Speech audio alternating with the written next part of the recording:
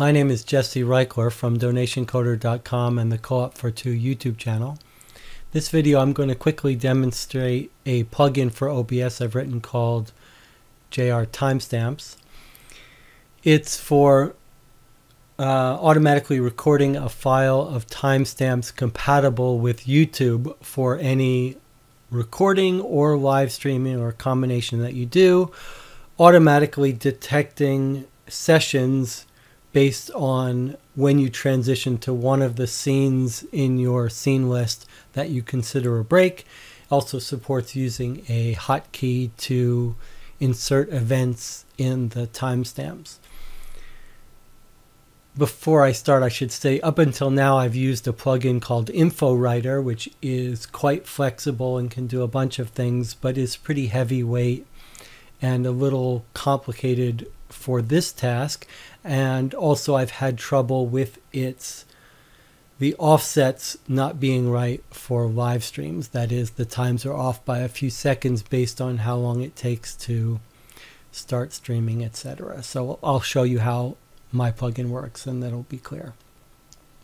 So I've got my OBS window open. I've got my JR stats panel here which I describe in a different video just going to start recording here. We're going to see a couple dropped frames while it runs some scripts and gets started.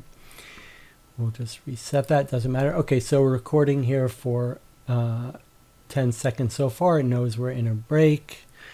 All right, so I'm going to switch to the front camera after about 20 seconds. Okay, so I switched to the front camera, 23, 24 seconds. Okay.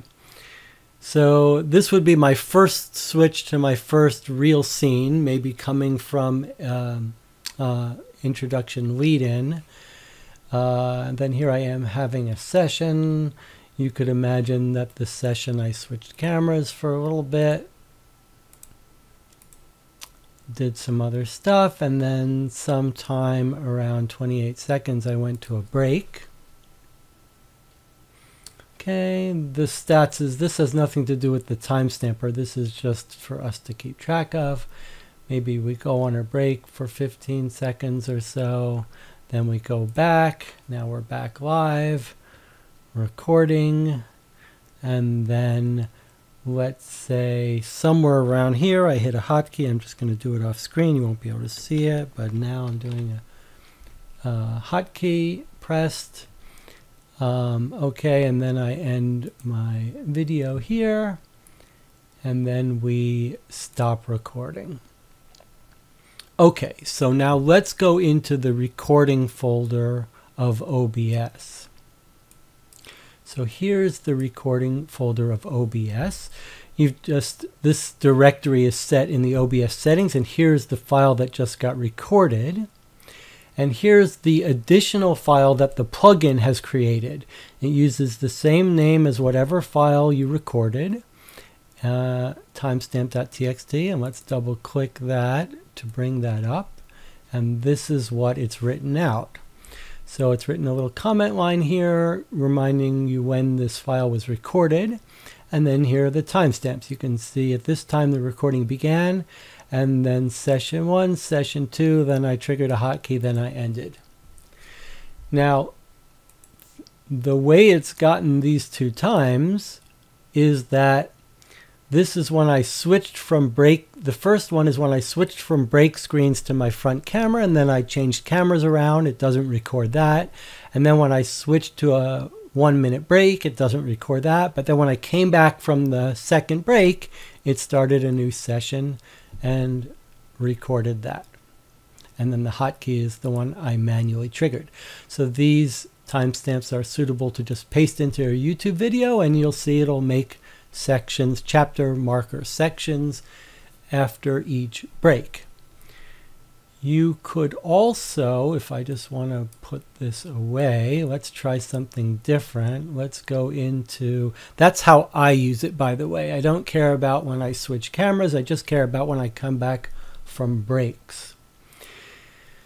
Normally I'm recording six or seven hour streams. I might have a break every hour, so it nicely breaks up my video into six or seven sessions.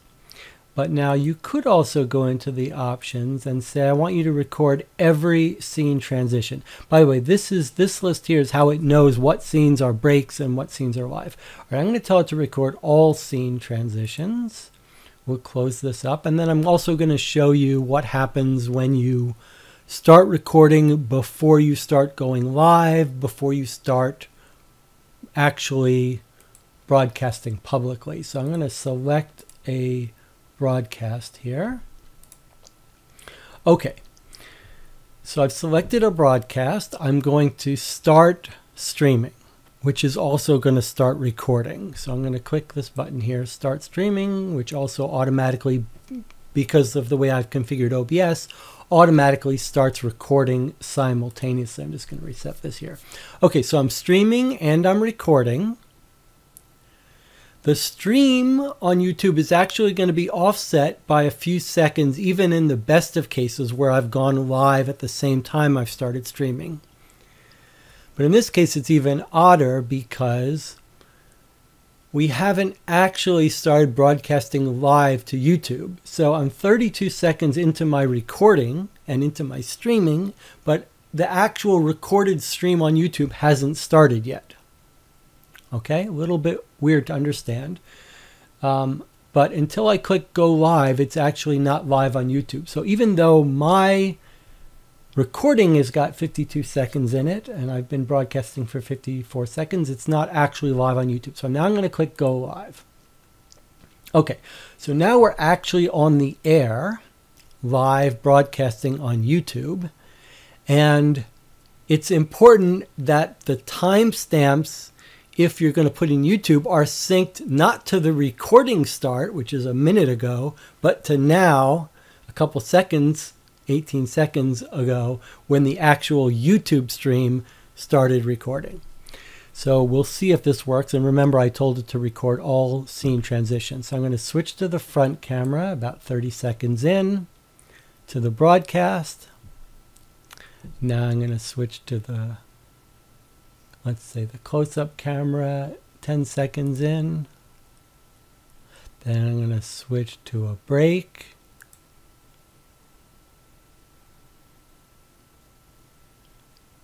Then I'm going to switch to technical difficulties. Then I'll switch back to the front camera. Back to the top camera the close-up camera, close-up camera zoomed, back to front camera, and now we'll say end broadcast. Okay, so let's go take a look at the file that got created. So there's the recording. Here's the recording. And here's the timestamp file, which we'll now take a look at. Okay. What do we see here? Okay, so notice here it's not, the previous file said session one, session two. Now we've got an entry for every transition of every scene has been recorded.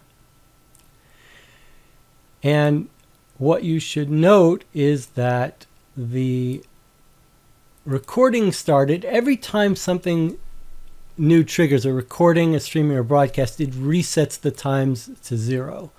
So if we had actually changed camera scenes, it would be recorded here like this. 10, say front camera, if we had changed camera, and then it would reset back to zero. Because it doesn't know if you're ever going to go into streaming or ever going to go into record, uh, broadcasting. So it just resets to zero. So if I were going to paste this into YouTube, I'd just go from here to here. I'd take this and I'd paste it in to YouTube and we would see that the front camera switch happened 28 seconds into the YouTube broadcast. So these are always synchronized for your YouTube stream, not your recording stream. If you wanted to sync it to the recording and not the YouTube, you'd have to change settings. And there you have it, JR timestamps for making YouTube, automatic YouTube timestamp lists for your videos.